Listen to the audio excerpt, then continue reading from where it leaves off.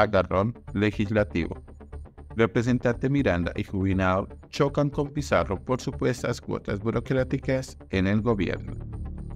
La discusión de la reforma laboral terminó convertida en un choque entre la representante del Partido Verde con María del Mar Pizarro del Pacto Histórico. Las primeras señalaron a la colectividad del gobierno de acceder a cuotas burocráticas. Las discusiones de la reforma laboral en la plenaria de la Cámara de Representantes se convirtieron en un encontrón que tuvo como protagonistas a tres congresistas, Catherine Miranda y Catherine Jubinao, de la Alianza Verde, se le fueron encima a María del Pizarro, representante del pacto histórico e hija del fallecido Carlos Pizarro.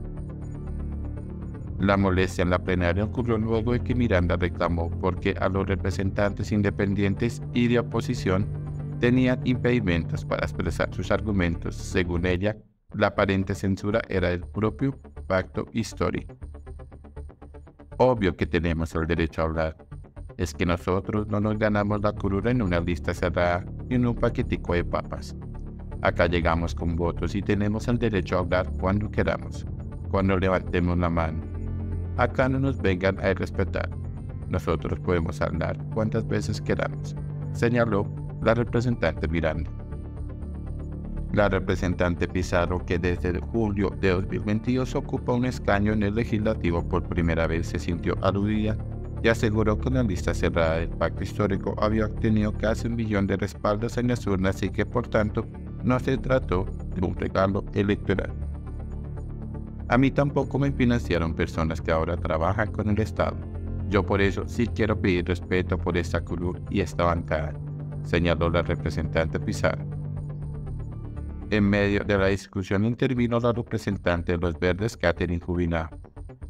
La representante aprovechó que David Racero, representante del pacto histórico, está inmiscuido en un escándalo porque aparentemente pedía parte de los salarios de sus integrantes de la unidad de trabajo legislativo para beneficio propio. Simplemente quería pedir respeto por el congresista David Racero, representante María Alvar. No se refería a él en esos términos. Aquí todos sabemos que ustedes están haciendo politiquería con el SENA, el ICETEX, la Unidad Nacional de Admisión de Riesgo, señaló Jubinao.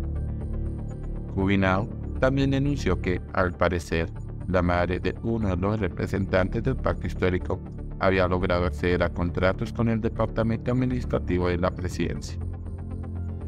La discusión sobre las aparentes irregularidades del acero ya escalaron en la Procuraduría General de la Nación y hasta en la Corte Suprema de Justicia, donde señalaron que habría una indagación previa contra el representante.